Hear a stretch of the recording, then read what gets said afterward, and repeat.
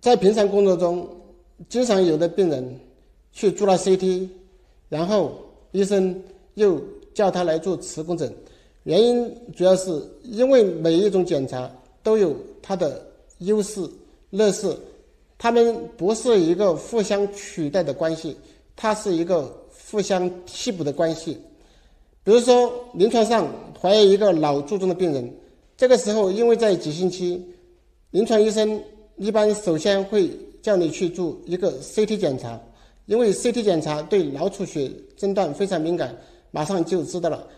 但是做了 CT 检查，他没有脑出血，但是病人他有脑卒中的表现，他有偏瘫的症状，这个时候医生就会叫你去做磁共振检查，因为磁共振检查它对脑梗塞它是非常敏感的。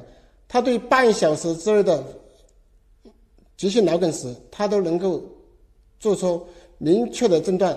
但是 CT 检查，他对脑梗死的早期诊断是有限的。在二十四小时的脑梗死，他 CT 他都可能显示不出来。所以说，照了 CT 没有问题，他会叫你来做磁共振检查。还有，比如说一个外伤病人照了片。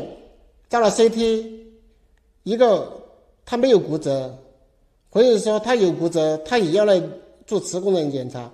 他主要是因为对一些肌腱、韧带、肌肉的损伤，CT 和平片它都是不能显示的。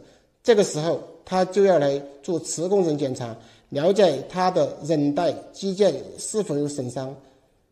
有时候肌腱